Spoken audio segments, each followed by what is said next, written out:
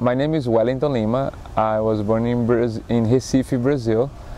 I am 31 years old and right now I live in America for about 13 years. I started my career back in Recife, Brazil when I was about 11 to 12 years old um, doing capoeira, a Brazilian martial art that I, you know, that I loved because there was a lot of creativity, you know, when people were jumping they were using their bodies in, in, in an amazing way and I just wanted to jump like them. I did that for about uh, six months, uh, the capoeira when I began on the streets of Brazil. Then I, I say to myself, um, I want to be, uh, you know, I want to get better at that. So that's when I, I started gymnastics. I did gymnastics for about six years and uh, after six years of practicing in the in the team over there back in the northwest of Brazil, I did start doing trampoline. The trampoline was the part that really I really identify myself with because it has to do with the air, the idea of staying in the air, you know, flying and get your, get the height as high as you can and then whenever whenever you're there in the air just you have a moment that like it frees your body and you there's like a silent moment over there. And that's an important moment where you can actually execute all the important elements when it's the top you know we're in the top in the air. And I got fascinated by that and you know I started doing that and in 1997 I won the Brazilian Championship of trampoline in the national team over there. And um, I moved from Recife, my hometown in the northwest of Brazil, to train in Rio de Janeiro in, at the end of 1997. After uh, I won the nationals in 1997 um, by August of 1997, in December, November, December of uh, that year, I moved to Rio de Janeiro, Brazil, to train with the national team. And the week that I arrived there at the at Rio, there was uh, an audition for Cirque du Soleil that was happening in the National Circus School. And I went there to see my friends uh, being part of the event. I think it was very interesting.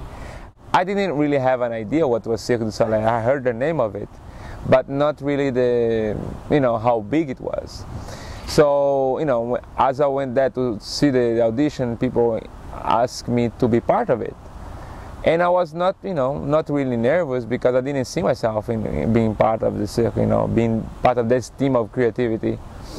And uh, as soon as I did the audition, there was like, they invite me to be part of it. You know, the audition was um, among 120 people that did part of the audition. I, they select only four so during those four, they call me, and then I say no in the beginning, you know, because I didn't, I didn't see myself being part of the circus, you know, idea of the circus. I didn't even imagine that.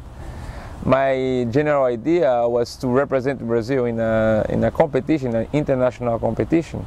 Three or four months later, they call me again, and they say, "Look, this is a unique opportunity, and you come here to see us, and you see how you feel." So I signed a little contract of training and in 1998 I, I talked to the president of the Confederation of Brazil and he told me, listen, go there, you know, try for a little bit and if it doesn't work, you know, you're always gonna have a place here. I went there, I remember there was in uh, May of um, 1998 and the, the flight, the plane was to come back to Brazil in July, you know, so it was about two or three months. But I ended up staying there, and uh, here I am, 13 years later, living in America after travel all over the world, living my dream, helping people, people helping me, and you know, being blessed. In 1998, when I came to to Cirque, uh, my first uh, place was in Canada. I stayed there for about four, five months. It was a great place then we did. Uh, I did the crea- the creation of La Nouba, one of the shows here in Orlando, Florida. And I came here. We did the show um, at Downtown Disney, and in in 2000, I, I did the show until 2004. then they called me to do the, uh, another creation called Dralion. It was very interesting with Dralion because while I was in Dralion, I went back to Canada, which is a great place of creativity. Then uh, there, there was a tour that toured Europe, Japan, and Australia. In Europe, I went to Spain, I went to Germany, I went to Switzerland, I went to Holland. It, it, was great, you know, it was great. And how the, this, the tour that I did in Australia was fantastic. In Japan, there's so many cultural things that, you know, I get to experiment, to experience that, you know, if I would have to pay, it would be very expensive. So I was living a dream and I was getting paid for it. So at this moment, I'm working uh, in Las Vegas, uh, doing a show in tri tribute to Elvis. The show is called Viva Elvis. Uh, I've been working there for about a year already, and it's a very energetic show. It's a little bit different compared to the other shows that I've been with Cirque because it involves a lot of um, music, of course, from Elvis, you know, and the the, the aspects of over there is a little bit more natural. Um, the makeup, you know, I didn't have the transformation, the magic that I was, you know, doing um, with the other shows. But the good thing about that is that I play, I play a very, I play a very interesting part in the in the show. On one of the parts is I play a superhero. Everyone has this idea of you know grow up and be a superhero one time in their life, and I remember trying to be one when I was a kid. And over there in the show, I, I have this opportunity. Elvis was inspired by a superhero, by comic books. You know, if you remember, if you guys remember, remember when he has a cape, that was an idea, and the way he posed, you know, all this karate and things like that was inspired by superheroes. So I play a very special part for that, you know, and, and one that's one of the main reasons I really like the show, you know. It's difficult to, to, to say how I define creativity. I just believe that creative have to come from inside. Uh, uh, you know, it's there is a little fire inside of all of us, no matter what we do in life. You know, there's things that inspire us, and if I would say, how do I, how do I get in my inspiration to get you know create, creative, is to be spontaneous. One thing transforms to another, so that's creativity is to be able to be open for different ideas to come into your life and be flexible to transform that. The advice that I would give for people that want to be creative is really to believe in themselves. It's uh, you know it's some people for some people it's like following their dreams. You know it, it may be crazy for some people, but for others, uh, the person that especially uh, experiences the, you know the sense of creativity they have to believe in that and follow the, the you know follow the, the the fire that I was mentioning before you know and, and, and really go for it there was it's always there will there will be always people that are gonna be against you no matter what you do in life you know and you have to fight that and go for what you believe is right for you that's what I, I did in my life you know I being I, I there was a lot of people that didn't believe in that I could be here today.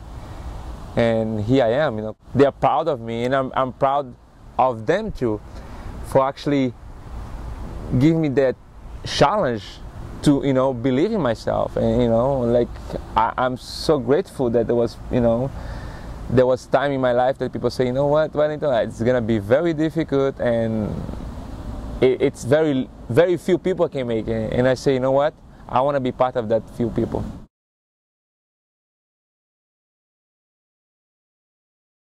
Where I grew up in Brazil, there was many challenge, you know, um, and it was really interesting that I that every time I go there and I see my friends and like they are so happy for me because you know I went out of that challenge area.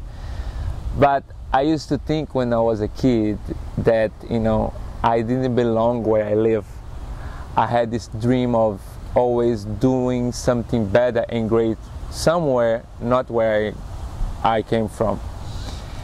And you know, I say challenge instead of difficulty because you know in life there is always probation. You know you can choose.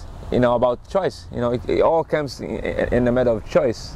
You have to follow what's inside of you and what's push you, and I, that's what I did. I really saw myself not in the area, not being part of the difficulty. Well, people were maybe I had friends that were doing drugs and I was close to them.